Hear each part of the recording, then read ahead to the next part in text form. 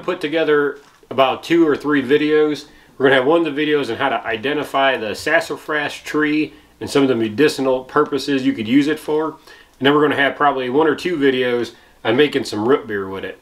So today we're going to make the most very basic form of root beer with it, which is basically going to be your water, your sassafras, and some form of sugar. So this is our sassafras that we gathered already. We've been letting it dry for a few weeks, but we're going to clean it, wash it, make sure there's no dirt on it, and process it a little bit to go ahead and make our sassafras.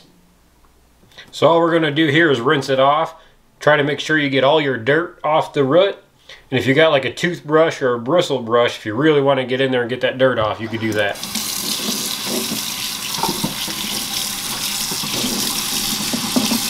These little roots that are coming off your main root, if those break off, don't worry about it.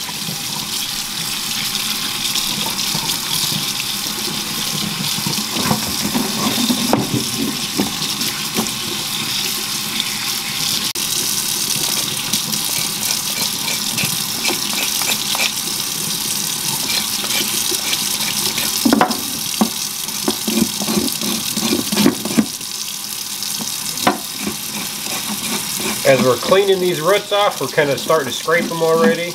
Make sure they're nice and clean. But that smell of sassafras is just so very potent. That smell coming off smells amazing. See that dark in there? That's actually some dirt. So you could get a toothbrush and try to clean that dirt out.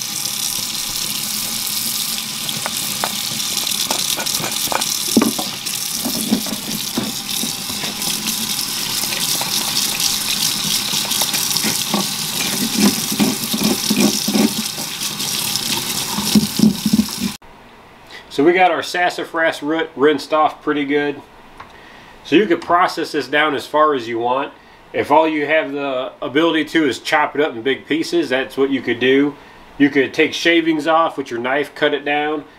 As far as you could even grind it and put it in a mortar and pedestal and make like a fine powder out of it. But we're going to go ahead and shave it down some, make a little pile of it. But we're not going to take it down all the way down to a powder though. We're going to leave it in bigger chunks today.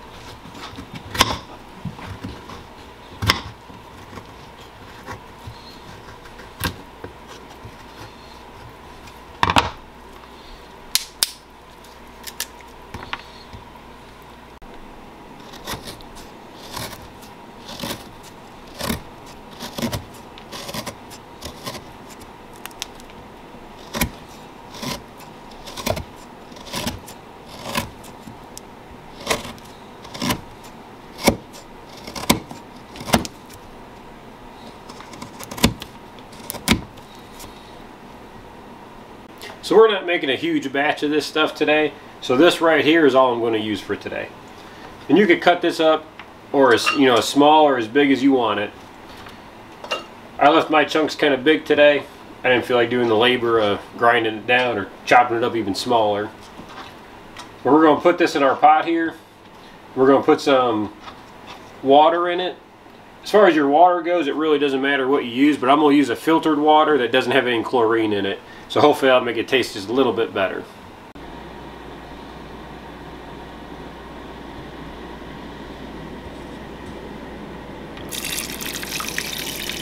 So with just about all the cooking I do, I don't ever actually measure anything out. Very rarely will I measure something. So as far as your, how much does the root weigh and how much water volume do I have, I really don't know. I got a handful of sassafras, I got a few cups of water. So basically as that water started to come up in the pot, when the sassafras started to float and I had a, a little bit of water under it, I'm going to call that done. So the stronger you want your sassafras flavor, add more root to it or less water to it, but don't always just boil it longer. So ideally our boil time is going to be between like 12 and 15 minutes. So if you start boiling over 15 minutes, it's going to start to release some of those tannins in the root and the flavor of your sassafras tea is not going to be as good.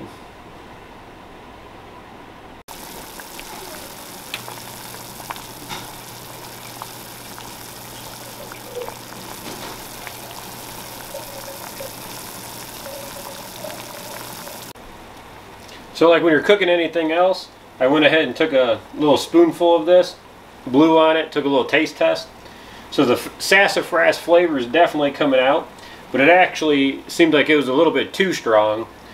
So I'm going to add some more filtered water to it, and it's going to drop the temperature down, and we'll have to pick it back up again. But it, it, to my flavoring of it, I think it'd use a little water in it.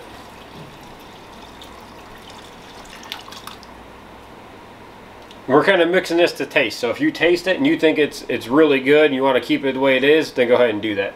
But also, with it being the way it is right now, it has no sugar or anything in it. So it did kind of have a, uh, a sour and a acidic flavor to it a little bit. And our time is getting pretty close here. We got about eight minutes left. So before our time is up, the last two minutes I'm going to turn it down to a simmer. And we're going to add some brown sugar to it. So I tasted this, and I think our flavor is just about where we want it. And we're coming up real close to our 15 minute mark. So I'm going to turn it down to a simmer, and we're going to add our sugar. So you could use any kind of sweetener that you want to use, but if you want a little richer flavor, you're going to want to shoot for brown sugar. So to start with, I already got pre-measured here, but we're going to add a half a cup of brown sugar. And this is pretty hot here, so I'm going to use my spoon here so I don't splash.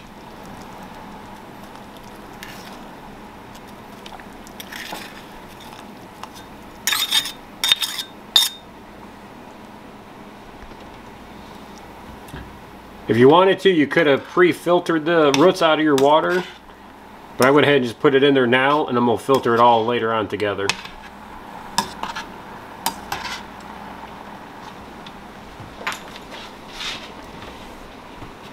So really this is much more like a sassafras tea versus like a root beer. So keep in mind you could make this and you could change your recipe up a little bit. But you could also add yeast and you could actually ferment this like you would an actual beer. You could also, if you had a carbonation machine, or if you go to the store and buy carbonated water, you could add carbonation to this to be more like the soda that you drink. We're not going to add any carbonation on it, and we're not going to ferment it either on this one. We're just going to go ahead and chill it, get it ice cold, and just drink it the way it is. Alright, so our cooking process of our sassafras tea is almost done. So just kind of as a reference, we got a two quart soup pot here. I got probably six cups of water, maybe seven. It's about an inch from the, the crease at the top of the pot here. I got a handful of sassafras root in there that was chopped up. It's about an inch and a half long. And then we also added three quarters cup of the brown sugar. So you guys see me put the half cup in there. I mixed it in there, dissolved it, tasted it. It needed just a hair bit more, so we added that extra quarter in there. So I got three quarters cup brown sugar all together. That's all we have in here.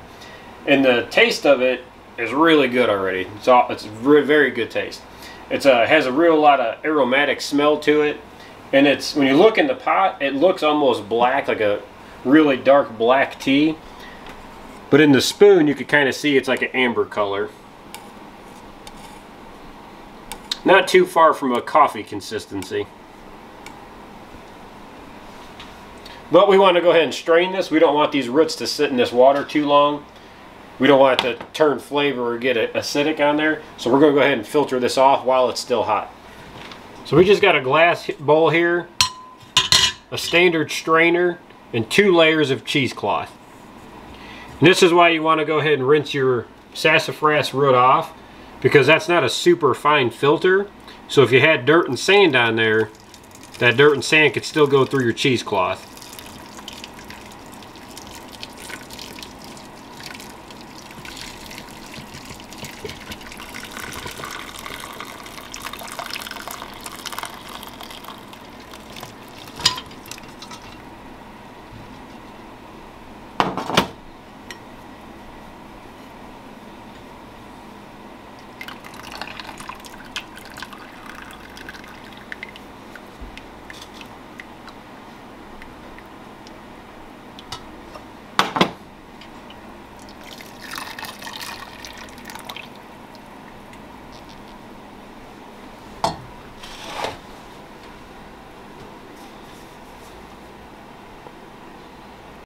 So we're going to put our sassafras tea into mason jars and that way we could put it in the refrigerator and get it nice and cold.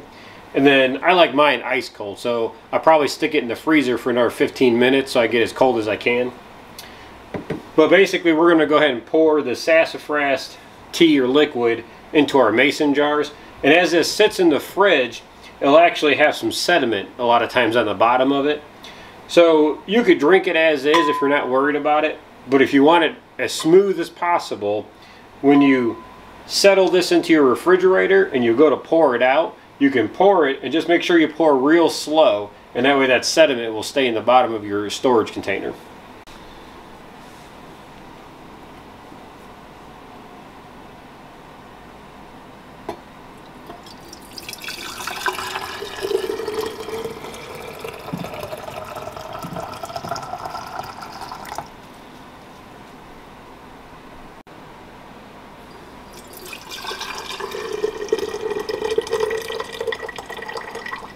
And if you guys look into my bowl right here, you could see some of that sediment in there that I'm talking about.